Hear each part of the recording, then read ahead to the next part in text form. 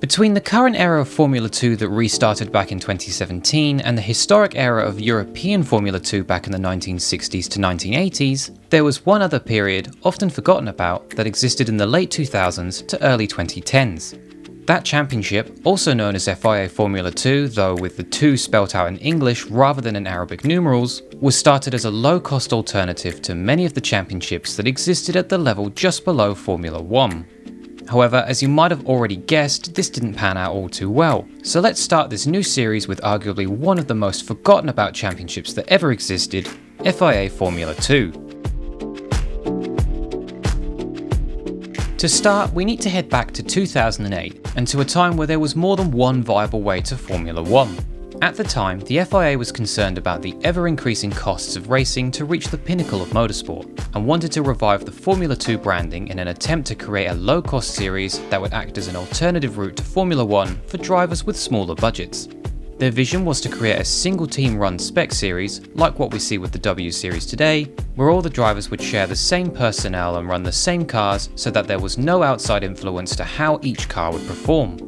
Motorsport Vision Racing, run by former Formula One driver Jonathan Palmer, was selected as the organisation to run this initiative, while the tender for the race car itself was won by none other than the Williams Formula One team. A six man team at Williams, led by legendary engineering director Sir Patrick Head, produced a car known as the JPH 1. Powering the car was a 1.8 litre turbocharged engine produced by Audi and tuned by Mountune Racing.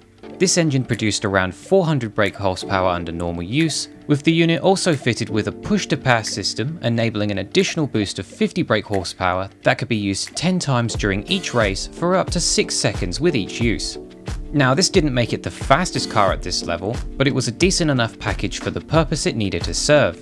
So, in a nutshell, the proposed series would be competing against both GP2 and Formula Renault 3.5, and to a lesser extent, the Euro Series 3000, A1GP, and the Super League Formula. So, quite the crowded market to try and capture talent that didn't quite have the budget to race elsewhere. The inaugural season in 2009 actually got off to a promising start with 24 drivers lining up on the grid for the first round at Valencia, with Canada's Robert Wickens taking the checkered flag first in both races. But unfortunately, the season was marred with an incredibly unfortunate incident in only its fourth round at Brands Hatch. During the second race of the weekend, on lap 9, Oliver Clark lost control of his car at the Westfield Bend, colliding with the tyre barrier. At the moment of impact, debris from the car, including one of Clark's wheels, was flung back onto the circuit. Henry Surtees, son of former motorcycle and Formula One champion John Surtees, was hit in the head by the loose wheel and was immediately knocked unconscious before colliding with the barriers at the bottom of the hill. Surtees would succumb to his injuries later that day, putting a dark spot on the championship from that point onwards.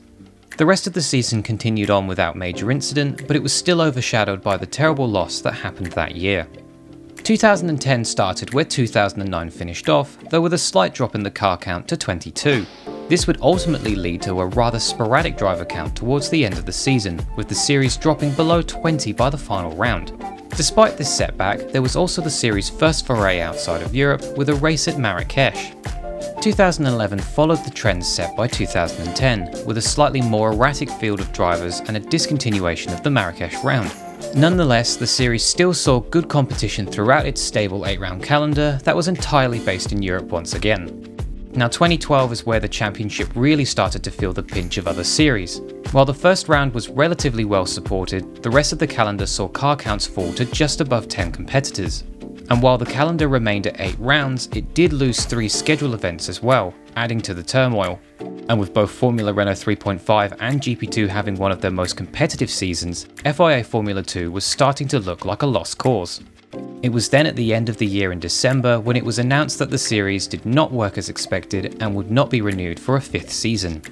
In the end, despite all the connections to Formula 1, only one driver who raced in the four seasons would eventually make it to the top tier category, but not before several years in GP2. So, was the four years worth it? Well, if there's anything that can be taken from the championship, it is the wake up call for head protection to be implemented on open wheel race cars. While Surtees' death wasn't the only incident cited for the Halos edition, it was certainly one of the most egregious. And really, we already know the rest. The Formula 2 name would come back again in 2017 for another revival attempt, though this time back to using a Teams format, and after years of research and testing, a suitable head protection device was developed and adopted for wide scale use in 2018. So while the championship was ultimately forgotten for its racing, it still had the one unfortunate moment that laid the groundwork for a major innovation in safety that has been widely adopted today and has arguably already saved several lives. Perhaps FIA Formula 2 was just too ambitious in its goals to be a low cost alternative, when drivers were preferring to pay much more to race in more competitive series. And as the problems of skyrocketing budgets are still around today, it's hard to say whether or not another attempt would play out any differently. Thank you so much for watching. Did you like the new series idea? Please leave any thoughts in the comments section below. Like the video and subscribe if you enjoyed it, and consider supporting me on Patreon for future work. My name's Jacob, and as always until next time, goodbye.